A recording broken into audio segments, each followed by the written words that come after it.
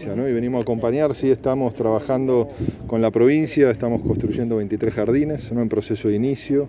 Hemos estado reunidos hoy con el gobernador Schiaretti, venimos trabajando en un año muy difícil como ha sido el 2020 en garantizar el derecho a la educación, el compromiso del Estado Nacional, de las 24 jurisdicciones educativas y en la agenda que tenemos por delante garantizar un regreso seguro a la presencialidad, una presencialidad cuidada, en el caso de la provincia de Córdoba, como la provincia de, Santa Fe están articulando una agenda común y vamos a seguir trabajando en estas iniciativas de manera mancomunada. Eh, ministro, ¿cómo hacer para iniciar, además de las cuestiones sanitarias, digamos, en contextos en donde la conectividad y los dispositivos para poder asistir virtualmente a las escuelas tan complejos en toda la Argentina?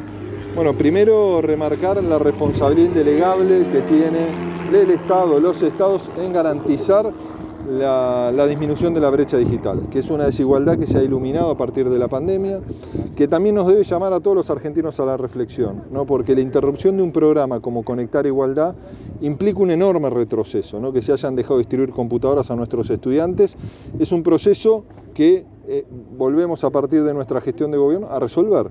No hay, no hay respuestas mágicas, no hay soluciones mágicas. Hemos distribuido más de 130.000 dispositivos tecnológicos en el 2020. Estamos finalizando el proceso de adquisición de medio millón de computadoras, de netbooks, que van a llegar principalmente a las escuelas de la ruralidad de toda la Argentina y a las escuelas intercultural bilingüe.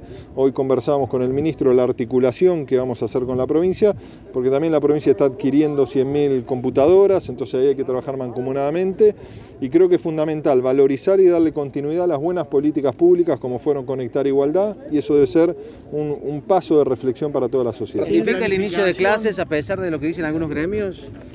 Mire, eh, Córdoba es la provincia número 19 que hemos visitado, hemos mantenido reuniones en cada una de las provincias con los gobernadores, gobernadoras, su equipo educativo y las organizaciones sindicales. Nosotros queremos en el diálogo para transitar este desafío tan complejo que es recuperar una presencialidad cuidada, recuperar los aprendizajes que nos quedaron truncos. Vamos a dialogar como lo venimos haciendo con todos los sindicatos. No es momento para posiciones extremas, es momento de diálogo.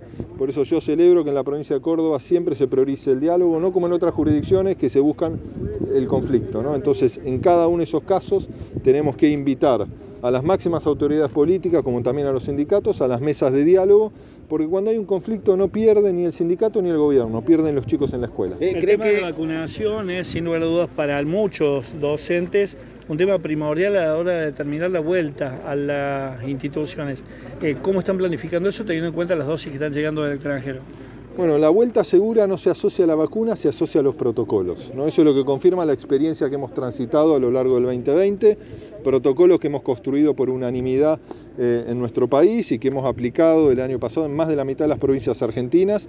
Nuestro gobierno también ha definido la aplicación prioritaria de la vacuna para los docentes. Son 1.450.000 docentes y no docentes de todos los niveles educativos, la educación inicial hasta la educación universitaria. Por supuesto, estamos esperando la llegada de las distintas dosis de los diferentes laboratorios para poder desplegar rápidamente, conjuntamente con cada una de las provincias, el proceso de vacunación a nuestros maestros. Y vamos a empezar por los maestros de educación inicial, de la educación especial y del primer tramo de la educación eh, primaria. Eh, Muchas gracias. Este, este, este, respaldo a la vacuna Sputnik le da un capital político al gobierno para tomar algunas decisiones sin eh, tantas consultas, digamos? No, yo creo que la oposición tiene que reflexionar. Digo, hay cuestiones que no podemos introducirlas en el barro de la política. Digo, el proceso de vacunación es un gran desafío que tiene toda la sociedad argentina y nuestro presidente, nuestro gobierno ha asumido de manera constante el proceso de negociación con los distintos laboratorios para que lleguen las vacunas en un proceso que vemos que es complejo para todos los países. Lo mismo ocurre con la presencialidad. No podemos llevar una discusión de lo que queremos todos, pero de manera cuidada, que es recuperar la presencialidad en las aulas. Le pedimos a la oposición que tenga una mirada constructiva, que el momento que está transitando la Argentina, como lo está transitando el mundo, es muy complejo y que venimos haciendo un esfuerzo todos los argentinos, que no se empañe eh, ese esfuerzo a partir de declaraciones altisonantes que no confirman, que no eh, aportan a la solución de los problemas.